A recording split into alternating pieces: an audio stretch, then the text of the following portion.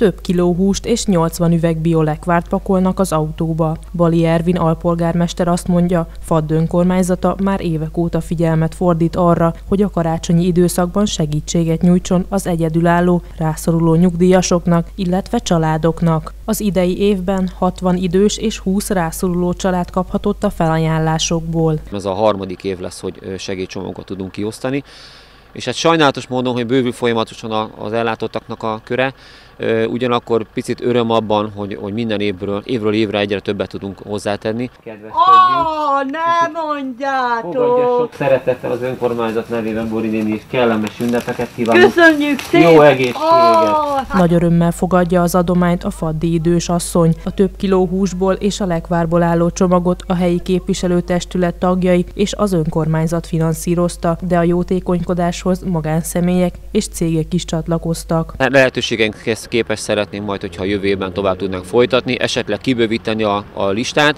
mert ugye van amelyik évben ö, a nyugdíjasok közül egyik csoport kap, ugye nem lett minden évben, de nyilván lesznek majd átfedések. Én abban bízom, hogy jövő évben sikerült ezt egy picit magasabb összegre feltornázni. Az alpolgármester úgy fogalmaz, ha a képviselőtestület az elkövetkezendő években is hozzájárul az adományozáshoz, biztos, hogy több rászorulónak tudnak majd segíteni.